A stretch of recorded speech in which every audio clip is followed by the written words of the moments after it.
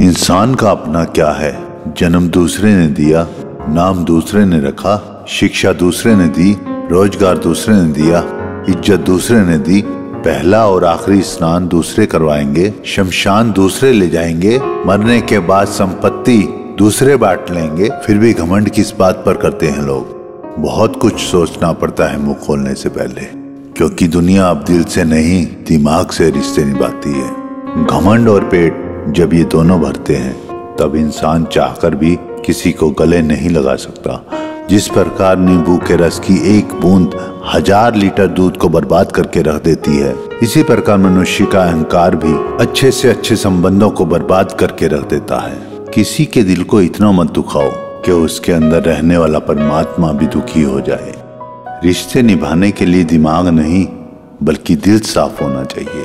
सच कहो, साफ़ कहो, सामने कहो। जो अपना होगा वो समझेगा, जो पराया होगा वो छूटेगा। आज के दौर में सच बोलने वालों से सबसे अधिक नफरत की जाती है, क्योंकि सच सुनने की हिम्मत हर किसी के पास नहीं होती। तालाब जब भरता है तब मछलियाँ चीटियों को खाती है, और तालाब जब सूखता है तो चीटियाँ मछलियों को खाती हैं। मौका सबको मिलता है। किसी के साथ गलत करके ज़्यादा खुश मत होना, बस अपनी बारी का इंतज़ार करना।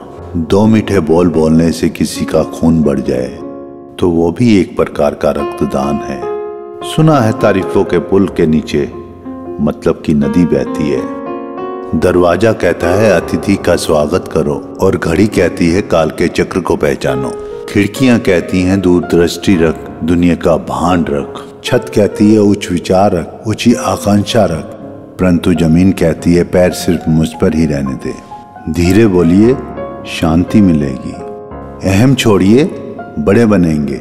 भक्ति कीजिए, मुक्ति मिलेगी। विचार कीजिए, ज्ञान मिलेगा। सेवा कीजिए, शक्ति मिलेगी। संतोषी बनिए, सुख मिलेगा। इतना छोटा कद रखिए कि सभी आपके साथ बैठ सके और इतना बड़ा मन रखें कि जब आप खड़े हो जाएँ तो कोई बैठा ना रह सके।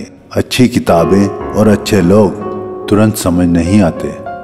उन्हें पढ़ना पड़ता है। अच्छे इंसान की सबसे पहली और सबसे आखिरी निशानी ये है कि वे उन लोगों की भी इज़्ज़त करता है, जिनसे उसे किसी किस्म के फ़ायदे की ज़रूरत नहीं होती। कभी माता पिता की याद आए तो भाई बहन मिलकर बैठा करो। किसी के चेहरे पर माँ मुस्कुराती नज़र आएगी, किसी के लहजे में पिता दिख जाएँगे।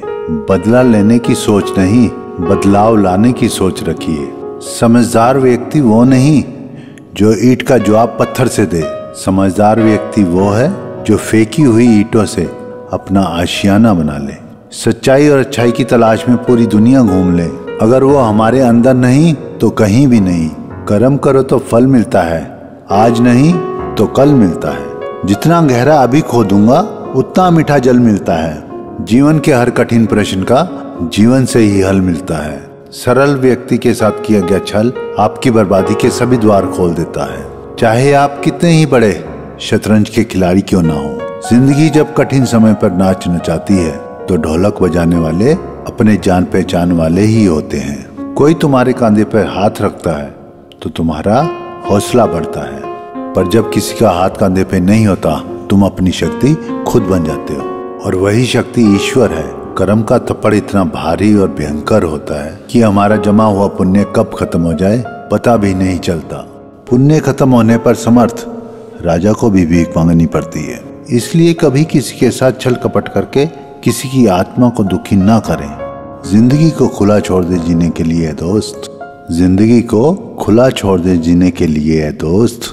अक्सर संभाल कर रखी हुई चीज़ें वक्त पर नहीं मिला करती। प्रार्थना करो केवल इसलिए नहीं कि कुछ ज़रूरत है, बल्कि इसलिए हम शुक्रगुजार हैं भगवान के, जो कुछ हमारे पास है। वो बहुत कम लोगों को नसीब होता है। ज़िंदगी का एक और वर्ष कम हो चला। कुछ पुरानी यादें पीछे छोड़ चला। कुछ ख्वाहिशें दिल में रह जाती हैं, कुछ बिन मांगे मिल जाती हैं। कुछ छोड़कर चले गए, कुछ नए जुड़ेंगे इस सफ़र में। कुछ मुझसे बहुत खफा है, कुछ मुझसे बहुत खुश है। कुछ मुझे मिलकर भूल गए, कुछ मुझे आज भी याद करते हैं। कुछ शायद अनजान है, कुछ बहुत परेशान है। कुछ को मेरा इंतज़ार है, कुछ का मुझे इंतज़ार है। कुछ सही है, कुछ गलत भी है। कोई गलती तो माफ़ कीजिए, कुछ अच्छा लगे तो याद कीजिए।